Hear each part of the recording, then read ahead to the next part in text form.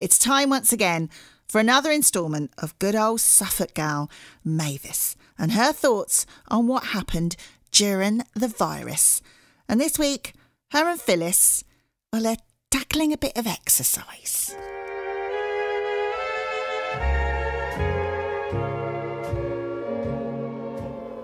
Hello, dears. It's time again to tell you all about how that was during the virus. Now, something that's quite important for everyone's well-being, even when there's not a nasty old virus around, is exercise.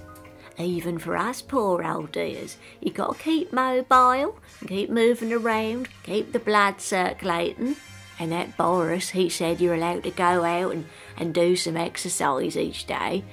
And that's just what that wonderful Captain Tom done during the virus, walking up and down the garden. All that money he raised for, for the NHS, yeah. Lovely old boy. But you can do all sorts of games and exercise.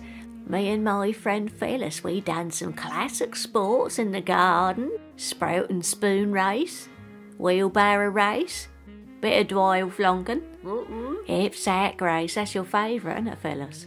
She loved getting in a sack. Mm-hmm. Oh, and we even played cricket. We'd use a spade for the bat, some rolling pins for the wickets. And Dillis from next door, we'd use one of her rock cakes for the ball because we weren't going to eat none of them. That was ever so much fun, wasn't it?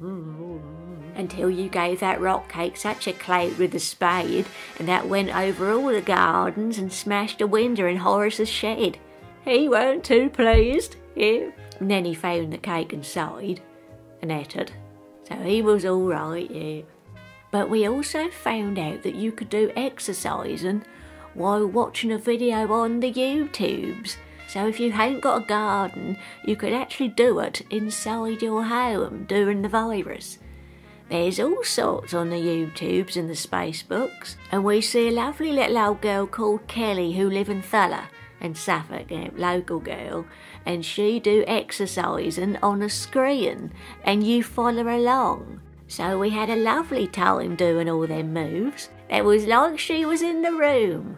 Now, put it on now, Phyllis. Put it on now. And we can follow along. Come on, let, come on let's do it now. Okay, are you all in position? Here. We'll do some stretches. Oh. If you can, just bend your knees and then squat. Oh. From there, we'll lie down on our backs. Drop here. Now heave Oh, and hold. can't quite. Try not to wobble. Well, I am wobbling. Now grab this leg. You got it, Phyllis? Raise your I bottom, can't quite that squeeze, and clench. Oh, I don't think that's clenching quite enough, Phyllis.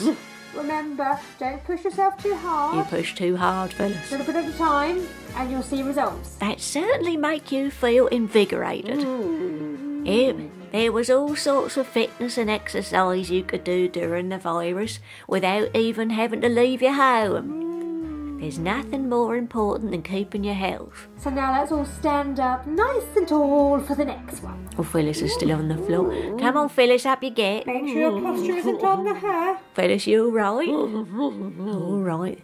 Go back to your sack. Good job, ladies, today. Is it time for biscuits?